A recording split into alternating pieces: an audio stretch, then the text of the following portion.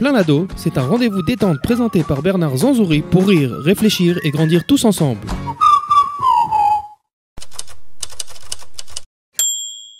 Plein l'ado et aujourd'hui dans notre studio était déjà venu nous visiter il y a quelques semaines euh, Milka, Milka, Céline Adré qui est euh, connue dans la communauté francophone. Si quand même, quand même, Milka, Milka bonjour. Bonjour. Milka, alors tu es psychoclinicienne spécialisée en ethnopsychiatrie. Alors qu'est-ce que ça veut dire tout ça pour, le profane? Bon, Psychoclinicienne, c'est des études de psychologie spécialisées euh, dans la clinique, en fait, hein, dans la pathologie, dans la psychologie clinique. Et puis l'ethnopsychiatrie, ça c'est un domaine euh, très particulier, c'est un domaine de recherche uniquement en France, qui avait été fondé euh, par Georges Devreux, qui avait été poursuivi par le professeur Toby Nathan, qui avait monté une unité de recherche à l'Université Paris 8, qui s'appelle le Centre Georges Devreux, auquel j'ai eu la chance de pouvoir euh, euh, participer et travailler pendant sept ans avant de faire mon alia. Et où on fait de la recherche, en fait, du soin et de l'enseignement sur les problématiques qui sont liées, on va dire, euh, à la migration et à ce qu'on appelle les problèmes culturels. C'est-à-dire, est-ce qu'on pose des questions? Est-ce que, par exemple, c'est la même façon d'être malade euh, partout dans le monde ou est-ce qu'il y a des spécificités culturelles? Tu vois, un peu comme le syndrome de Jérusalem, tu vois, des choses comme ça. Et voilà, c'est de ça qu'il s'agit. Alors en vrai, ce qu'on ce qu'on explique, si je comprends bien, vu que c'est un rapport avec l'ethnie, c'est que tu vas pas pouvoir t'occuper d'un d'un jeune arabe qui arrive à Paris, comme tu te occupé d'un petit Parisien 12 générations et comprendre, si tu n'as pas compris des choses profondément, tout à fait. Tu Tout vas te tromper dans ta façon d'aborder. D'abord, on aborde dans la langue des, patients, c'est-à-dire que s'il y avait un, un Soninke qui arrivait à Paris avec sa famille, et eh ben, on, traitait la personne et sa famille dans sa langue, mais surtout à partir de ses représentations, qu'il avait lui-même des problématiques euh, qui se posaient. Sinon, sinon, si tu fais pas ça, c'est du chinois. Quand tu parles, le type euh, fait semblant, il bouge la tête et en fait, il a rien compris. Non, parce que les gens sont intelligents et ils sont curieux des modèles qu'ils rencontrent. Mais très souvent, euh, toi, tu n'apprends rien. Déjà, parce que tu imposes ton problème à, quelqu'un. Le deuxième problème, c'est que très souvent, c'est inefficace. Tu vois, tu peux essayer de faire une psychanalyse lacanienne à un Soninke qui vient d'arriver. Ça va être une, expérience intéressante, mais en général, tu vas pas rentrer dans la problématique euh, telle qu'elle se pose. Tu, rates des occasions d'apprendre. Et puis, euh, bon, c'est des dispositifs lourds. Hein. Ce sont des consultations qui durent en moyenne 4 heures, où il y a à peu près euh, une trentaine de personnes, où il y a des médiateurs culturels, des spécialistes de, des problématiques. Ça peut être une famille peut-être adressée par les juges, par exemple de Sainte-Saint-Denis, sur une question, mettons, si une maman décède, il y a un cas de polygamie. À qui tu dois confier les enfants qui reste de la dame qui est décédée? À laquelle des coépouses? C'est une vraie question. Soit tu dis ça ne me concerne pas et ça ne m'intéresse pas, je fais au hasard, soit tu es un juge euh, aguerri à ces problématiques et tu sais que il vaut mieux se renseigner sur ce qu'on s'appelle. Ça ne me concerne pas et ça ne m'intéresse pas, ça a dû être quand même la politique pendant très très longtemps. Hein.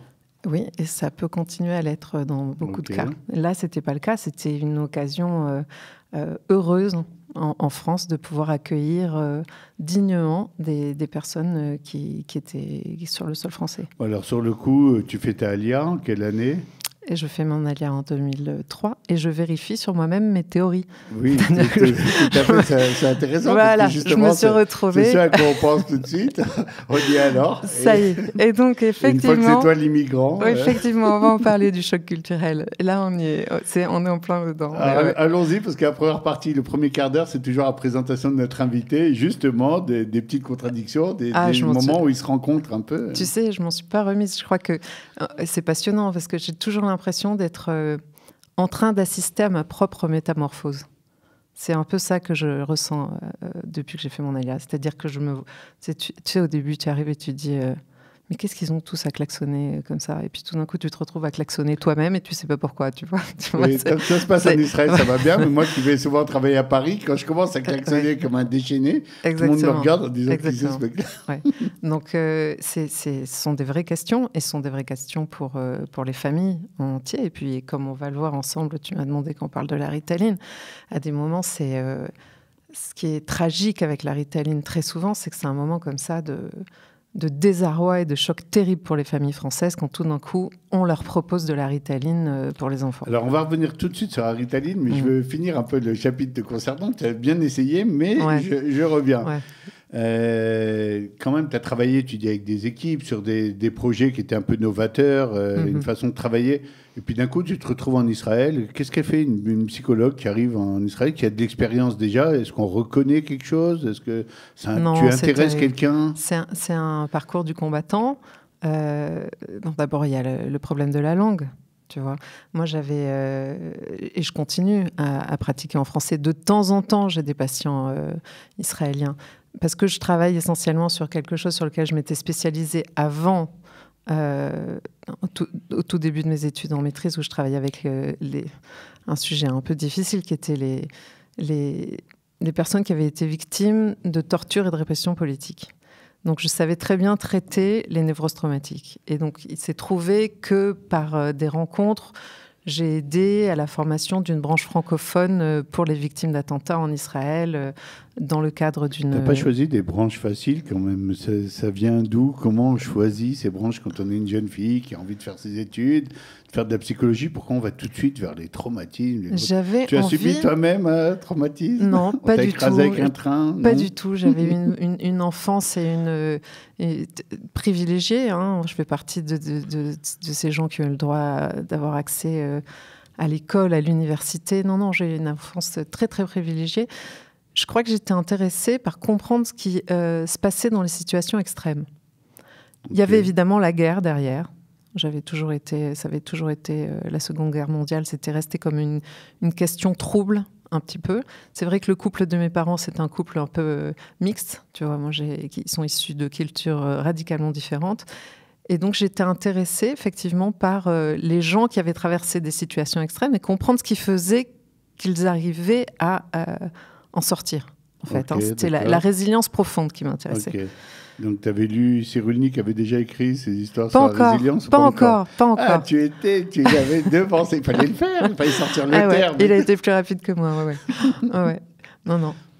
Et voilà. Et de fil en aiguille, après, euh, j'ai continué euh, à, à faire de l'anthropologie, puis après à rencontrer euh, l'ethnopsychiatrie, et puis après à venir en Israël. Bon, alors, tu arrives en Israël, tu commences à, à pratiquer ici, à essayer de te repositionner comme psychologue qui va s'occuper effectivement Ouais. des problèmes de la société. Et effectivement, et je l'ai posé comme question aux internautes il y a quelques jours en disant je vais recevoir 1000 cas, etc. Est-ce que vous avez des questions? Été d'ailleurs surpris par le nombre de questions qui, qui tombaient. Et une des questions était effectivement liée à la ritaline en disant on arrive d'un endroit où il n'y a pas cette notion, il y a très très peu de gens qui prennent de la ritaline en France. Pourquoi on va droguer un enfant? On va lui donner des, des médicaments, des calmants, euh, on n'a qu'à éduquer ou cadrer ou resserrer les limites. Mm. Et puis d'un coup, on arrive dans un système où ici, on dit Ah, il a bougé, ah, il a crié, ah, il faudrait peut-être euh, le mettre sur Ritaline, on serait plus tranquille. Ça gêne beaucoup le, le français. Qu'est-ce qu'on doit faire, Mika Comment ça tu va? sais, ça fait plus que gêner. Moi, je, je me rappelle du cas d'une, d'une, d'un médecin qui avait fait son alia et qui est, qui est reparti. Parce qu'il a dit, je suis pas venu en Israël pour faire des prescriptions de Ritaline. Et il- avait un taux de prescription dans la journée qui dépassait les 20 cas. Il est reparti. Et il faut bien comprendre que cette histoire de la Ritaline, elle est cruciale pour, pour nous parce que c'est un moment où, comme ça, c'est comme un détonateur. C'est-à-dire qu'au moment où on, te dit on veut mettre ton gosse sous Ritaline, là, tu as un truc où tu te dis mais qu'est-ce que je fous là quoi? Tu as vraiment un- un- une sensation de chez nous, c'est pas comme ça. En France, c'est pas comme ça. Alors, euh, c'est très compliqué parce qu'il faut reprendre les choses à partir de la molécule quand on veut comprendre ce qui se passe avec, euh, avec la Ritaline. Allons-y, on plonge dans la ah Ouais, molécule. on y va. Le phényl, euh, j'arrive jamais à dire le nom entier. Euh, phényl, Prenez vos boîtes, Ouais, messieurs, ouais, dames, ouais, et vous lisez. Ça le commence par phényl. méthylphénidate, méthylphénidate, pour ne pas le nommer. Le méthylphénidate, inventé à peu près dans les années 60, si on prend euh, une des dernières études faites en Israël en 2016 par euh, Davidovich, euh, docteur Davidovich, on a les derniers chiffres en fait. Et c'est intéressant parce que c'est quand même 500 000 enfants de- entre 5 et 18 ans à qui on fait des prescriptions pour troubles du déficit de l'attention avec ou pas euh, hyperactivité. Donc c'est 500 000 enfants sous traitement, ce qui représente à peu près 14,7% de la population des enfants israéliens, ce qui est deux fois la moyenne mondiale qui est à 7,4%. Alors, qu'est-ce qui se passe ici Donc, il y, a, un boom, il y a une véritable explosion. Est-ce qu'il y a véritablement plus de jeunes hyperactifs ou il y a une, facilité, une main un peu légère sur la boîte de médicaments euh, Là, on rentre dans le, dans, le vif du problème. Il faut savoir qu'en France, c'est la même chose. Hein. Il y a eu une augmentation de 70% des prescriptions entre 2005 et 2013. Hein. Ce n'est pas un phénomène strictement local. Mais disons que euh, il y a une influence américaine euh, en Israël qui est très forte et que ça reste un enfant sur sept aux États-Unis, euh, un enfant sur sept en Israël, un enfant sur cinq aux États-Unis. Alors, qu'est-ce qui se passe? Qu'est-ce qui se passe? Vous, vous, trouvez les enfants euh, métamorphosés à ce point-là? Moi, j'ai toujours eu un problème avec ça, mais tu vas peut-être nous en dire plus. Alors, revenons à la molécule. C'est que toi et moi, on serait certainement, enfin moi très certainement, identifiés comme présentant un trouble du déficit de l'attention. Parce que maintenant, on a tendance à penser que c'est hyperactif, mais ça touche aussi ceux qui sont euh, un peu dans la lune, tu vois. Tu oublies un peu tes affaires, euh, tu n'es pas vraiment concentré. Tu vois, les, ceux qui sont dans la lune, le diagnostic s'est élargi. C'est le trouble déficitaire de l'attention, slash, avec ou sans hyperactivité. J'ai compris. D'accord? Donc, c'est pas seulement le gosse qui court partout dans la classe, c'est aussi celui qui a l'air de pas être là. Ok? Pourquoi ça? Il faut revenir, en fait, le, vrai problème qu'on a, c'est que cette molécule, elle est super active. C'est-à-dire qu'elle marche. Le vrai problème de la ritaline, c'est que ça marche.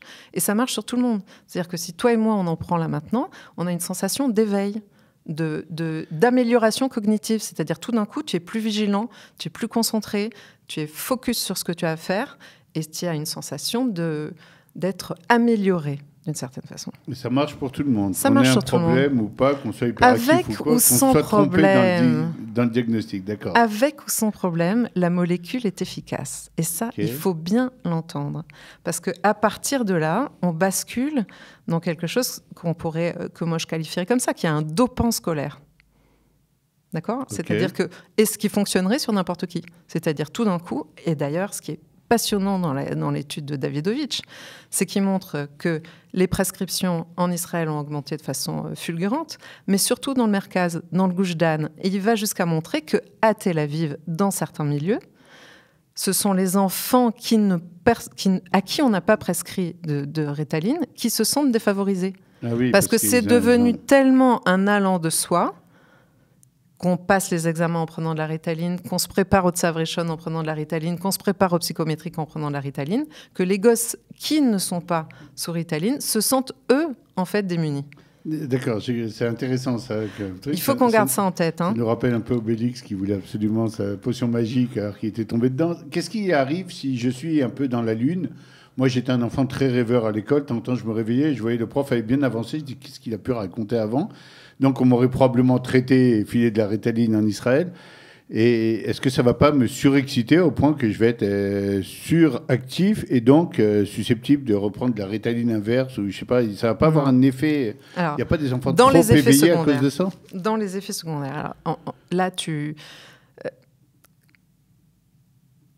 Une fois que c'est prescrit sur un trouble qui est réel, c'est-à-dire un enfant qui présente une réelle souffrance, avec une incapacité totale à se concentrer, euh, et il faut bien toujours garder en tête que dans les deux premières années de l'ALIA, il n'est pas du tout justifié de poser un, diagnostic de trouble du déficitaire de l'attention. Et si, l'école le fait quand même, j'ai des non, recours, non, on s'oppose. Oui, oui, vous pouvez vous opposer. Les deux premières années de l'ALIA, interdiction de poser ce, diagnostic parce que le contexte familial implique qu'il y ait un trouble de l'attention tout simplement parce que vous êtes dans une classe où vous ne comprenez pas la langue. Et que votre famille vit une situation qui est une situation anxiogène. Les parents sont en porte-à-faux, les enfants ne comprennent pas. Souvent, c'est une décision qui est subie pour les enfants hein, de venir en Israël, il ne faut pas, pas l'oublier. Et c'est très complexe, les enjeux sont très complexes. Donc les deux premières années, si un enfant qui n'était pas diagnostiqué hyperactif avant l'ALIA n'a pas à être diagnostiqué euh, hyperactif dans les deux premières années. Si vraiment il y a eu un problème avant et que le, traitement se poursuit, évidemment que sur un enfant hyperactif, l'effet, si tu veux, ressemble aux effets des amphétamines, c'est-à-dire il est inverse, il va calmer. sur un enfant hyperactif et va lui permettre d'être plus concentré. C'est-à-dire que vraiment, ce que ça traite, c'est ton attention, ta capacité à focaliser et ton éveil. Ok? Maintenant, le- le- le- ce qu'elle a de magique aussi, cette, cette molécule, c'est qu'elle ne va pas créer de dépendance. Il y a- D'accord. il y a- tu n'es pas accro à la molécule, le sevrage est très rapide.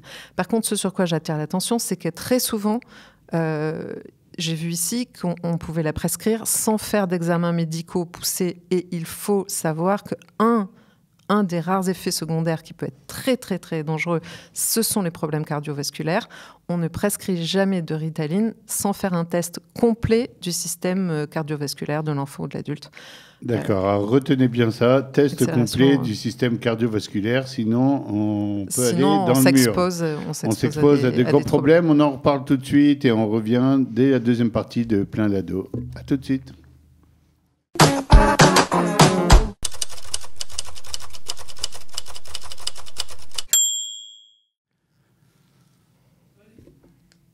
Donc on était en train d'expliquer, euh, Milka, qu'il fallait un examen cardiovasculaire, etc., qu'on ne pouvait pas prescrire de la ritaline n'importe comment et, et à n'importe qui. Alors, euh, vas-y, explique-nous ju- jusqu'au bout le, le Alors, raisonnement. sur ta question sur de, de- est-ce que ça peut avoir un effet euh, contraire sur un enfant qui présente une hyperactivité?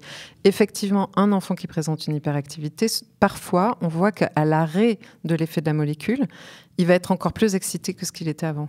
Ok, c'est dû à quoi C'est une constatation. C'est une constatation. Ok, d'accord. Ça, ça peut arriver. Et effectivement, il y a tout un problème de réglage des dosages.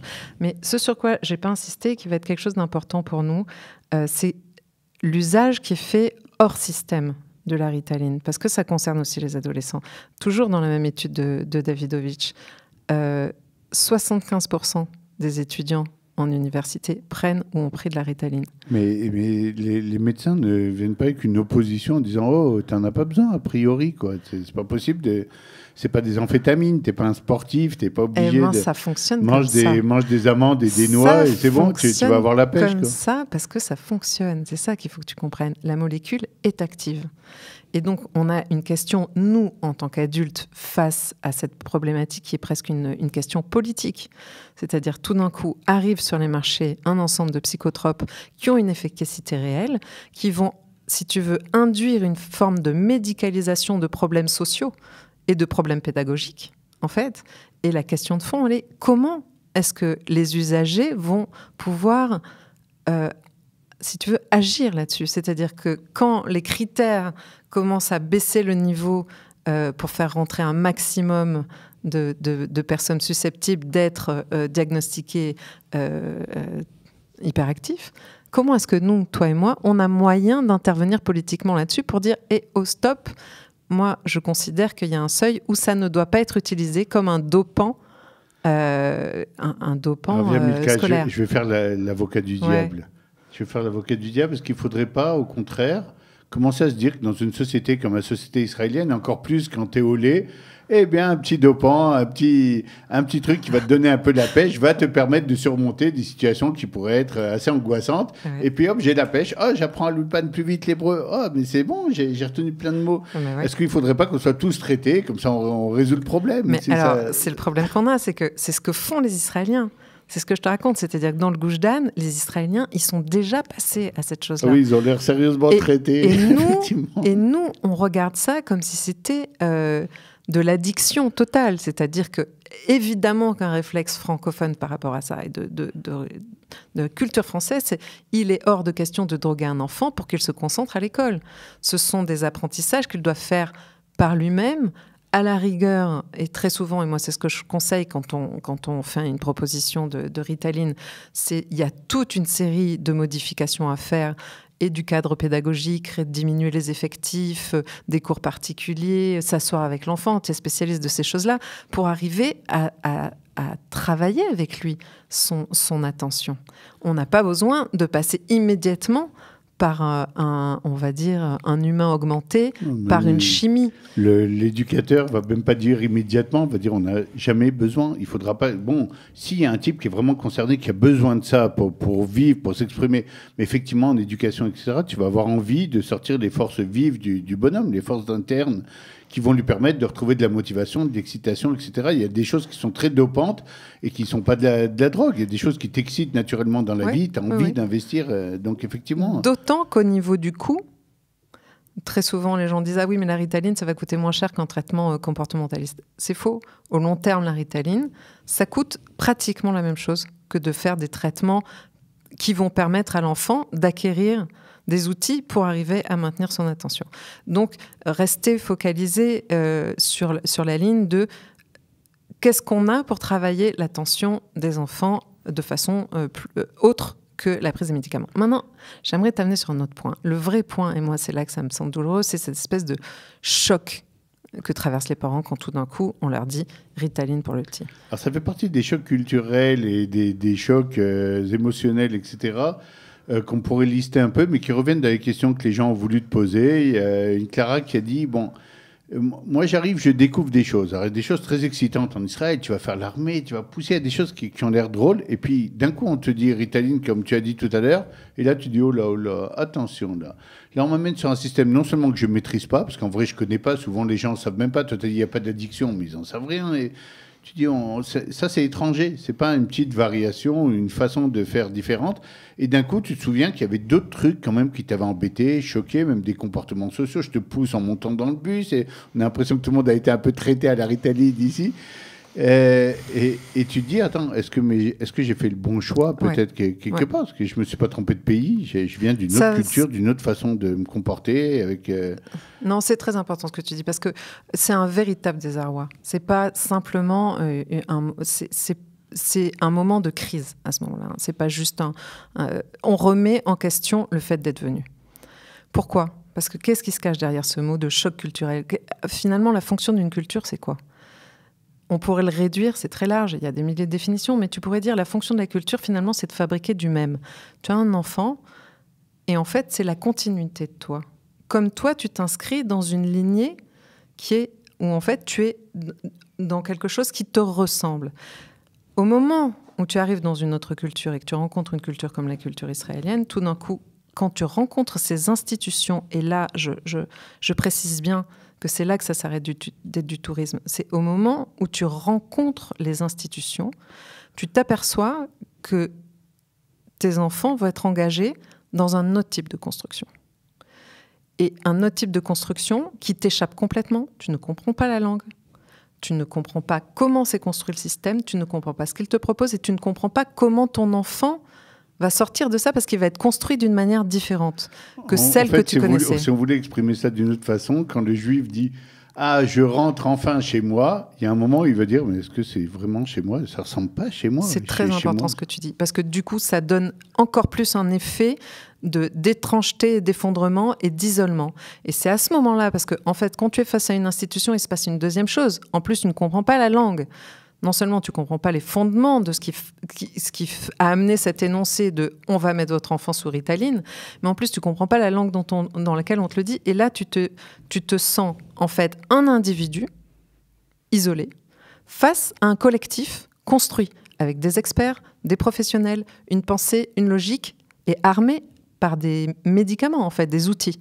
Et là, si tu veux, le rapport de force est tellement inversé, les enjeux sont tellement grands, c'est toi, c'est ta continuité, sont tes enfants, que tout d'un coup, tout est remis en question. Alors, comment on agit? Qu'est-ce qu'on fait pour rassurer Le premier point et le vrai, vrai, vrai fond du problème, c'est face à un collectif, il faut toujours être un collectif. C'est-à-dire pouvoir avoir un groupe d'autres parents qui réfléchissent à la même question dans la langue il faut pouvoir constituer un contre-pouvoir. C'est pour ça que sur les histoires de on ne comprend rien à la problématique de la, ritaline tant qu'on ne passe pas par les groupes de patients qui sont constitués concernant la ritaline, qui vont expliquer comment, pourquoi, mais pourquoi? Parce qu'ils se sont mis, en fait, ils ont constitué un contre-pouvoir par rapport au, au laboratoire pharmaceutique. Tu comprends ce que je veux dire C'est-à-dire quand tu es aussi seul, de, pouvoir exprimer des choses. de pouvoir s'exprimer. rien exprimé. Mais en tant qu'individu, tu n'as pas de poids. Tu ne pèses rien. Tu ne pèses pas. Face à une institution, tu dois obligatoirement constituer un collectif. Et c'est pour ça qu'il y a cette double position qui est très ambiguë en Israël. C'est-à-dire que pour devenir le plus vite israélien, je veux me couper des Français. Et jeter mes enfants dans côté, le si, je me, si je me coupe, je vais probablement ressembler à un Israélien, etc. Mais lui, c'était un collectif construit, alors que moi, je suis un petit Et- individu. Et n'oubliez jamais que l'Israélien, lui, n'existe pas. C'est toujours des groupes très organisés. Les kibbutznikim de la première alias, mais ce sont les... Les anciens Golani de Bien sûr, les Russes, l'alia russe, ils ont leurs propres écoles. Ce sont que des groupes à l'intérieur d'une société. Mais qui... pourquoi les Olim euh, russes sont aussi? Parce qu'ils se sont investis euh, et ils sont représentés politiquement. C'est pour ça qu'ils sont défendus. Pourquoi ils ont leurs propres écoles Parce qu'ils se sont constitués en collectif. Ce que les francophones, ce que les Français ont énormément de mal à faire parce que on a malheureusement hérité de la, société française ce, ce goût pour l'individualisme. On en est fier et on est content de penser par nous-mêmes, d'être par nous-mêmes. Et c'est très peu adapté à la réalité israélienne Oui, où il faut au contraire. Il y avait aussi un côté très positif. C'est je veux, je veux devenir un Israélien. Je veux pas être un poids. Je veux pas ressembler à un Français obligatoirement pendant encore 10 ans, 15 ans. Je vais devenir un Israélien. Je vais me fondre. Mais quelque part, tu t'aperçois que sur toute la route, on va te regarder d'abord comme un Français. Il n'y a personne qui va penser que tu es un Israélien. Même moi, plus de 30 ans après, on me fait encore des remarques. Ah, vous êtes champion du monde, un truc comme si j'étais un Français. Et ensuite, je pèse rien en tant qu'individu. C'est une fausse piste. Et malheureusement, c'est une fausse piste dans laquelle nous nous sommes tous engagés. On a énormément de mal à créer des, des collectifs. C'est pour ça que moi, je suis ravie ait- que vous existiez, Kalita, parce que enfin, on peut ne serait-ce que prendre la parole. Parce que ce qu'on est en train de se dire, énormément de gens l'ont vécu, mais dans la- dans l'angoisse de rentrer chez soi et de se poser la question seule. La première à la première réunion de parents d'élèves, les gens ressentent un choc, mais euh, abyssal, et, et sont seuls et sont seuls sans rien comprendre et du coup développent une allergie à rentrer en contact avec l'institution parce que ça tu as une boule dans le ventre rien qu'à l'idée d'y aller et de te re- retrouver encore dans cette situation parce que dans le fond tu te dis est-ce que j'ai bien fait d'être là? Et, et finalement c'est dans ce gouffre là que euh, rentrent les enfants parce qu'un enfant tu sais tu peux lui parler toi tu connais bien ça un ado tu peux dire ce que tu veux il est dans ton ventre il sent ce que tu sens s'il te sent justement, tu as, parlé de l'institution. Au bout d'un moment, tu t'aperçois même que le problème a fait des petits quelque part, parce qu'un jour, ton fils te regarde, il dit Tu, com- Azov tu comprends pas parce que toi, Ouais. tu es une Française. exactement Moi, je suis déjà un Israélien, je suis en train de rentrer. Toi, tu vas rester une Française, tu ne seras pas intégrée. Et là, le, le corps un peu étranger, le- lui, il fait déjà partie, il est parti vers le groupe Mhm. organisé en Mhm. disant Moi, je, je suis sauvé parce que je, je fais partie maintenant du groupe organisé. Les Khayalim qui rentrent, les trucs, mais toi, tu vas rester en arrière, tu parles toujours pas très bien, tu as, toujours un problème à avoir compris. Même moi, je me désolidarise un peu de toi pour avoir une chance dans cette société-là. Et c'est dans ce fossé-là qu'en fait ils souffrent, les enfants. hein. C'est parce qu'il faut bien comprendre qu'est-ce qui protège un, un- enfant ou un adolescent? Quand il rentre en contact, parce que lui aussi il est étranger à ce monde-là. Il va le pénétrer plus vite parce qu'il est plus exposé que nous. Lui, il est en première ligne. Lui, il est 8 heures par jour en contact avec des Israéliens. La mentalité, il va la comprendre. La langue, il va l'acquérir, qu'ils le veulent ou pas. L'armée, il va la faire là où nous ne l'avons pas faite. Il était dans des, à l'école israélienne, nous n'y étions pas. Enfin, pour la, la- les- Est-ce que- la plupart des que- parents. Alors, et, et c'est de ça qu'il va souffrir, c'est-à-dire de l'incapacité de l'adulte qui l'accompagne à pouvoir penser le monde auquel il est confronté. Et donc, quelque part, il devient cet adulte un peu comme un poids, euh, un poids mort sur le dos. non, faut non, porter, il devient un, un- Si tu veux, en fait, dans le meilleur des cas, tu lui, tu lui en veux plus après, tu te moques en lui disant tu vois pas, mais la plupart du temps, c'est une source d'angoisse, mais sans fin. C'est-à-dire que être confronté à un monde que les adultes de ton monde, de ta famille, n'ont pas pensé pour toi, c'est ce qui peut y avoir de plus angoissant. C'est-à-dire, normalement, tu es protégé, toi, psychiquement, par le fait que, et c'est ça tout le rôle de la culture, que ce avec quoi tu rentres en contact, c'est pensé déjà depuis des dizaines et des dizaines d'années réfléchi. On sait faire, on devance, on sait ce que ça va être ton bac, on l'a déjà passé en machin, on sait comment tu grilles les profs, on sait. Là, le gosse, il découvre tout et il a personne, il est, il est comme s'il n'avait pas de peau, tu vois. Il est en première ligne face aux institutions israéliennes. Et tu sais que les institutions israéliennes, elles sont pas tendres. hein. L'armée, c'est pas de la rigolade, quoi. C'est-à-dire, c'est des endroits où tu, tu vas te Une retrouver. espèce de syndrome du homard un peu renouvelé, où tu n'as pas ta carapace, tu n'as plus rien qui te protège. Oui, pas à part que nous, en tant qu'adultes, qu'est-ce qu'on peut faire à part euh, se, se morfondre en les regardant, être plus exposés que nous? C'est aller devant, c'est-à-dire être en collectif. Et le gosse, il rentre dans l'armée, il faut que vous en sachiez plus, si ce n'est autant que lui. Il faut aller se renseigner, se renseigner, rencontrer les professeurs, aller devant, apprendre ce que sont les bagrouillottes. Il ne faut pas qu'il ait la sensation qu'il va en savoir plus que vous. même si de toute façon ils vont en savoir plus que vous. plus, il au faut que vous essayiez de contrecarrer cette chose-là. Voilà. On en reparle tout de suite dans la troisième partie de Plein d'ado. À tout de suite.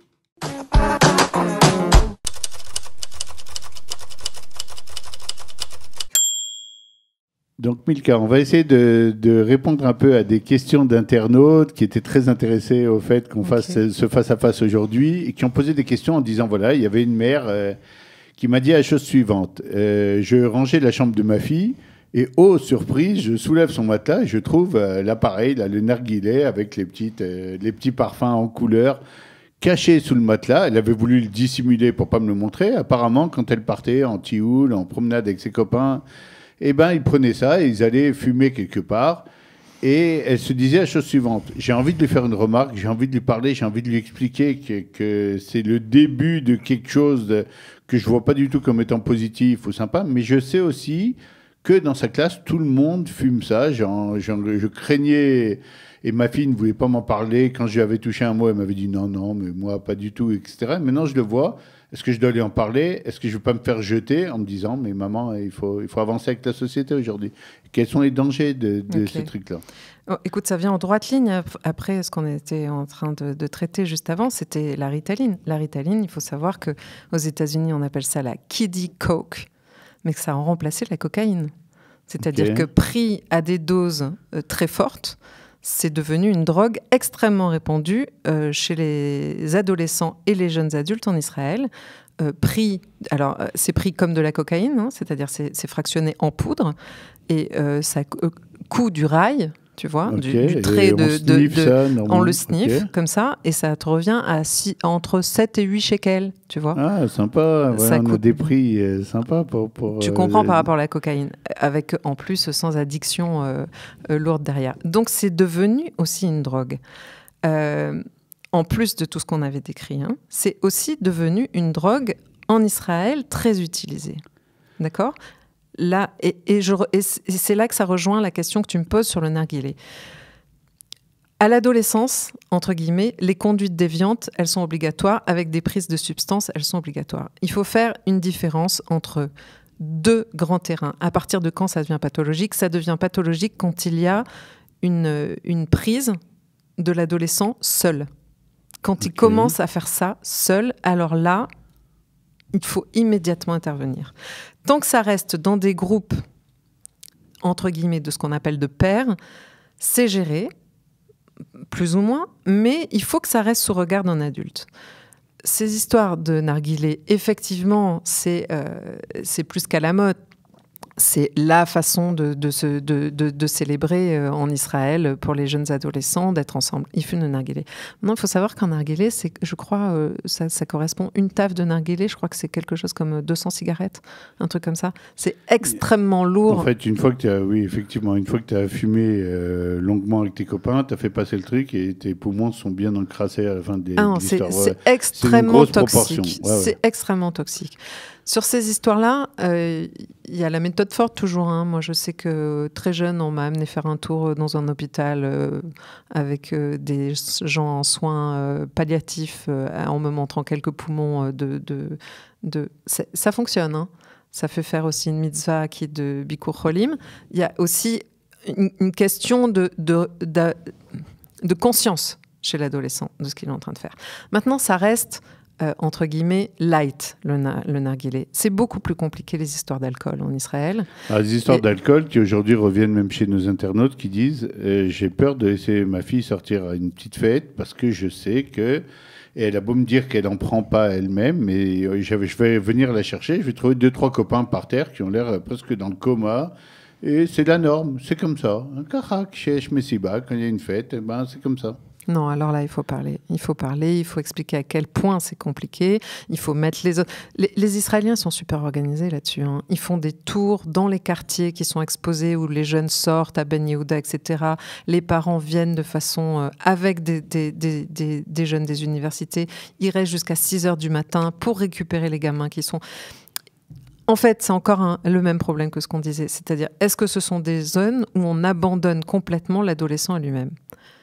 Et dans les rites de passage, ce qu'on appelle les rites de passage de l'adolescence, la même chose, c'est-à-dire est-ce que ce sont des rites qui sont organisés par des adultes ou effectivement le gosse va se mettre en danger, tu lui fais faire de l'escalade, tu lui fais faire euh, de l'équitation, tu lui fais faire euh, des choses où effectivement il est dans un corps à corps avec lui-même, où il sent ses limites, mais tu gères, et il y a un jeune adulte qui gère, ou alors ils font ça en groupe, tout seul, et là, ça devient dangereux. C'est le vieux débat entre la confiance et la protection, le, fameux équilibre en éducation. Tu as envie de protéger, tu as envie aussi de faire confiance pour qu'il puisse grandir. Quelles sont les limites que tu poses pour que ça se fasse de façon à ce que tu aies un minimum de contrôle dans les mains et de compréhension de ce qui se passe? Moi, je dis plutôt Sinon, présence. Tu fais des découvertes. Présence et présence de jeunes adultes. C'est-à-dire qu'il y ait toujours un, adulte, ils le voudront pas parce que ah non, euh, ça va casser toute l'ambiance si, si tu viens. Par contre, un jeune adulte qu'on rend responsable, voire deux, qui sont sur place et qui savent gérer les problématiques justement de coma éthylique, etc., de prise de médicaments dont on ne sait pas du tout ce qu'il y a dedans.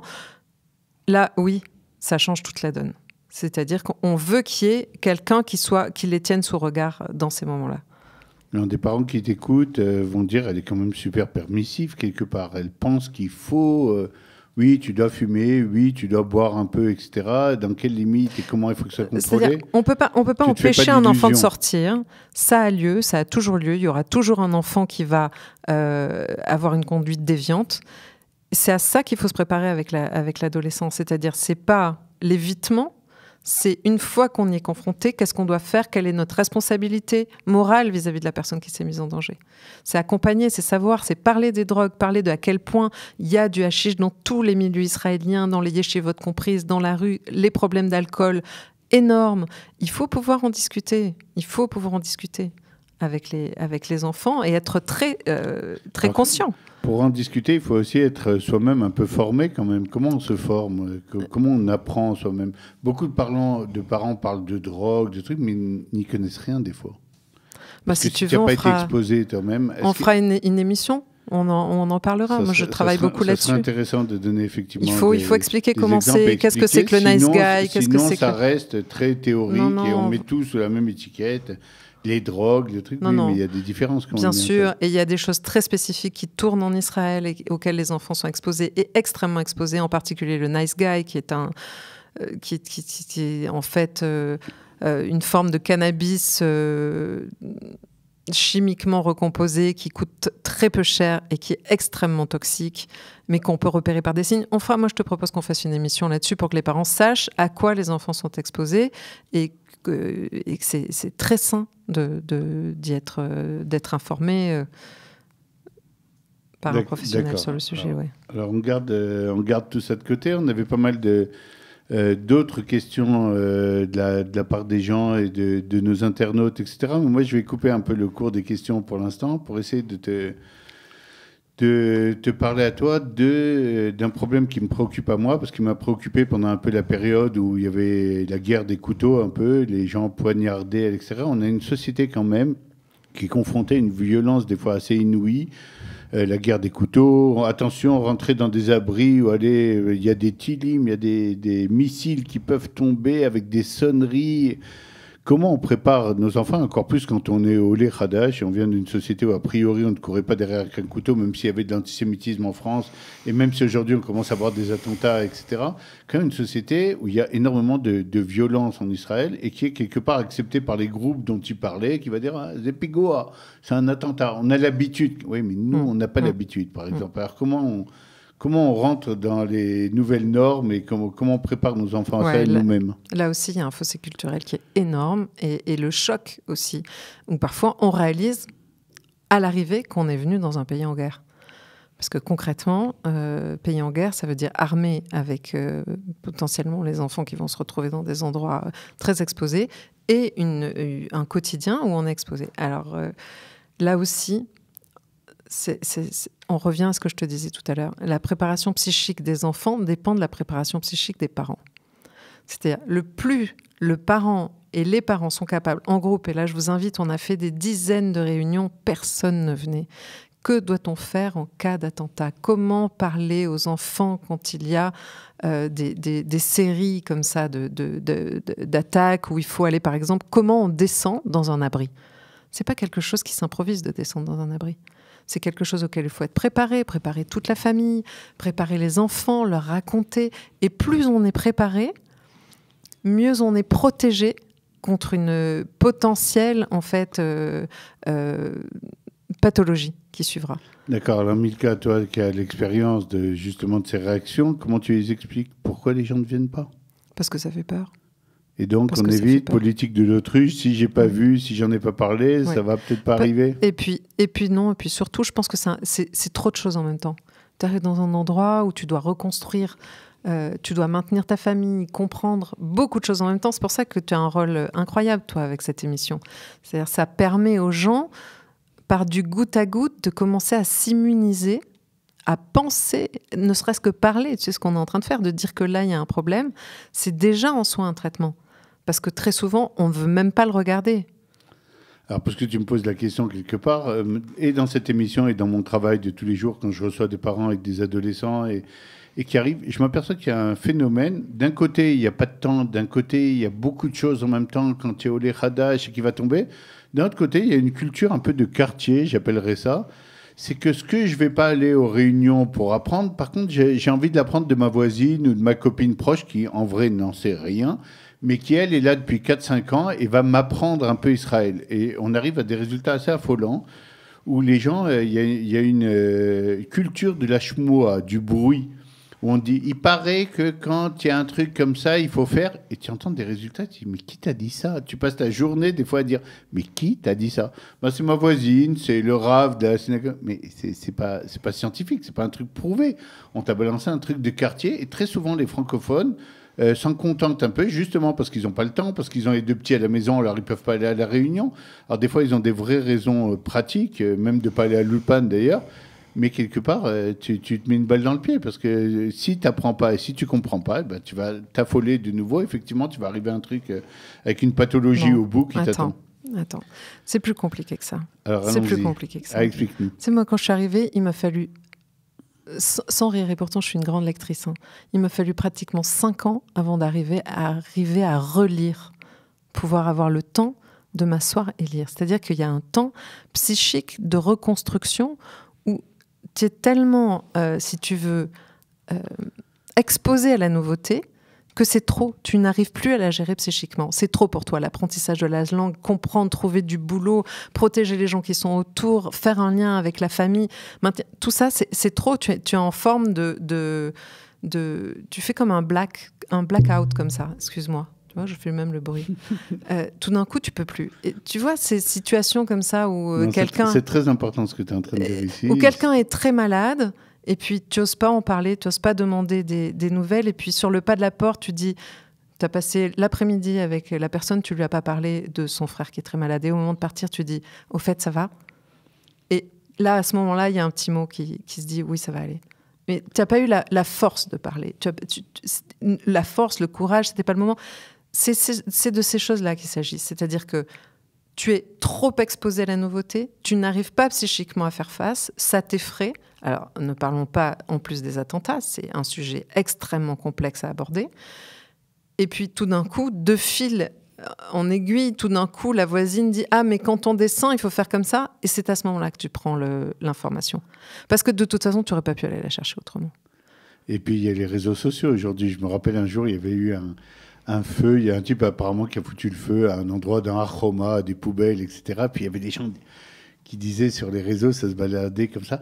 Vous avez vu le feu? Vous savez qu'est-ce que c'est et puis il y avait un type qui avait balancé Ouais, je crois qu'il y a des Arabes organisés qui arrivent vers le quartier. Et là, tu étais dans un film d'horreur.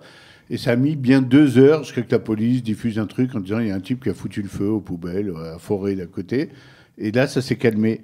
On a l'impression qu'effectivement, ce dont tu parlais tout à l'heure, c'est cette question de, de Ah, je suis rentré chez moi en Israël, puis d'un coup, oh, mais c'est étranger, je connais pas tous ces trucs-là. Ça ressort dès qu'il y a un truc un peu, un peu spécial qui sort un peu de, de la norme ou de l'habitude. D'un coup, on replonge dans Mais on connaît pas Non, finalement bien ce pays. C'est- C'est c'est encore un autre, un, un autre euh, ressort, si tu veux. C'est-à-dire, si tu tiens à distance certaines choses parce que tu peux pas y être exposé, parce que c'est trop de nouveautés d'un seul coup, en même temps, tu les fantasmes. Exactement. Et, et- et au moindre moment, tu peux te dire Ah, ça y est, c'est- comme euh, quand tu n'as pas rempli tes papiers pour faire tes impôts. Euh, tu, euh, tu tiens à distance, tu tiens à distance, et puis tout d'un coup, tu dis Ah, ça y est, ça va me tomber dessus, ça va être la catastrophe. Donc là, c'est le même, le, le même problème, c'est-à-dire que tu tiens des choses qui sont extrêmement anxiogènes à distance, et tout d'un coup, elles peuvent surgir et effrayer, et effrayer des collectifs, quoi. Ok, on en reparle tout de suite dans la dernière partie de Plein d'ado.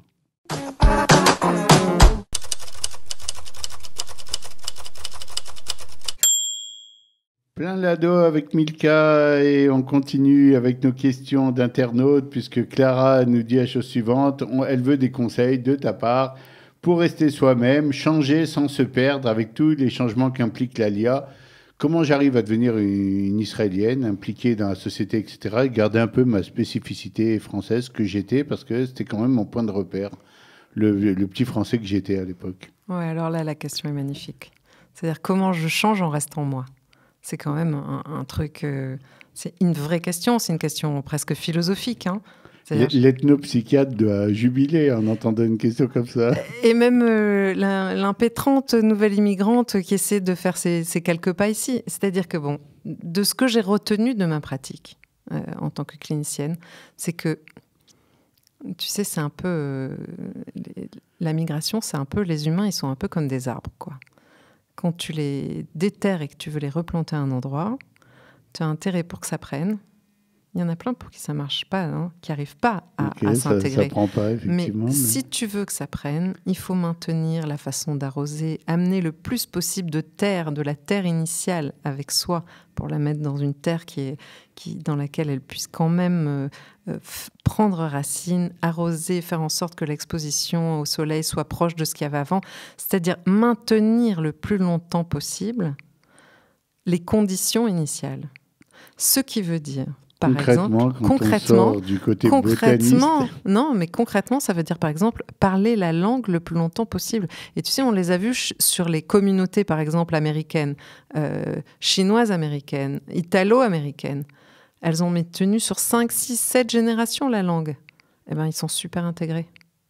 Quand tu fais le modèle français qui est de déraciner la culture à l'intérieur de l'être, en général, c'est très grinçant, la deuxième génération. Donc, le plus longtemps tu peux parler ta langue, le plus longtemps tu seras riche de ce que tu es. Et tu auras une marrant parce colonne que vertébrale. C'était la politique d'État d'Israël au début, à la création de l'État, le cours à Itour. Tu oublies ce que tu as été et tu es un nouveau personnage, avec une nouvelle langue directement, un nouveau look. Et, et tu oublies complètement l'autre individu. Ça n'avait pas pris du tout, ça n'a pas du Ça- tout marché. été un échec retentissant. Ça ne peut pas marcher. Et ça, on a du mal, et les Français sont le seul à pas le comprendre, hein, parce que quand ils arrivent, on se disent, euh, allez, la à Kodesh, on arrête complètement le français, on va parler l'hébreu, et le mieux, l'immersion, on jette les enfants au milieu de la piscine. C'est une grave erreur. D'abord, en Israël, tout le monde parle minimum deux langues.